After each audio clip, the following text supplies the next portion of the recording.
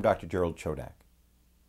The principal therapy for treating men with metastatic prostate cancer has been hormone therapy, a treatment discovered back in the 1940s by Dr. Charles Huggins, who, who discovered that prostate cancer cells grow in response to the male sex hormone called testosterone.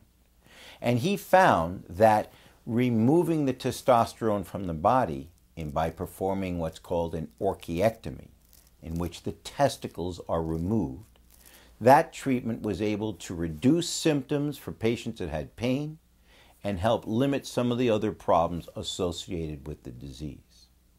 That operation is relatively easy to administer. It takes about 30 minutes. It's done under an anesthetic. There's not many complications, and patients recover very quickly.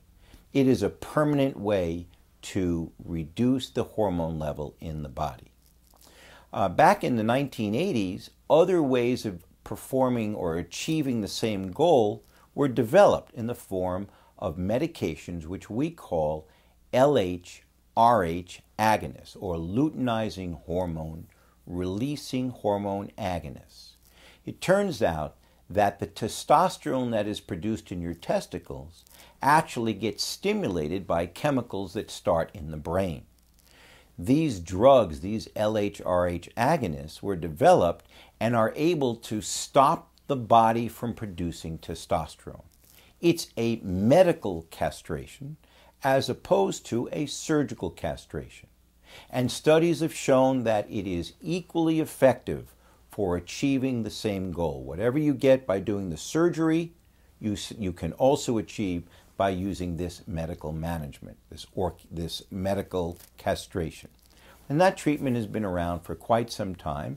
Studies have shown that when you give men a choice, more men will choose to have the medical castration because they'd like to avoid the surgery and they'd like to avoid the psychological impact of having their testicles absent. As far as we can tell, those two treatments are equal. And those are the primary therapy for a man that has prostate cancer that has spread into the bones. Now, there has been a debate about when is the best time to administer the medical or surgical castration. Should we do it as soon as we discover the cancer is in the bones, even if a patient has no symptoms? Or should we hold it back and wait until men develop bone pain because the castration will reduce and, and lower the amount of pain that a person has? This debate has continued to go on for some time. There is good scientific data that shows that if you do the treatment earlier, it can reduce the likelihood of developing other problems such as the bone pain, such as what's called a spinal cord compression, or blockage of the urinary tract, which can occur as the cancer is growing. So, earlier therapy can achieve those benefits. There is less certainty whether early hormone therapy does improve survival. That debate continues on.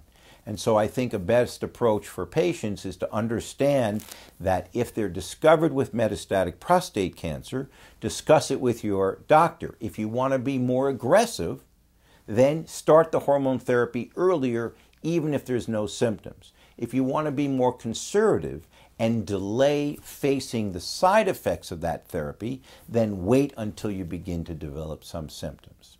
So Hormone therapy, early or late, is the primary therapy that we offer. And there are other ways to do this uh, that are available. I'll talk in another video about using combined hormone therapy, where we combine medical or surgical castration with medicine that will block the hormones coming from the adrenal gland. That will be explained in another video.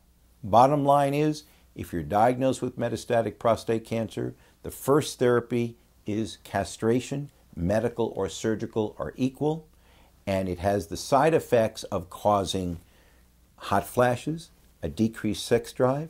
It can cause some thinning of the bones over time, maybe one, two, or three years. It can also cause some weight gain, and there's some question whether men may have more problems with heart disease if they're taking hormone therapy. Still, it's a good way to manage the disease if you have faced that problem. More will be discussed about other treatment options in the ensuing videos. Thank you.